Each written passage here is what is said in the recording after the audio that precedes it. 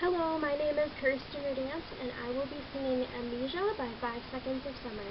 I hope you guys like it.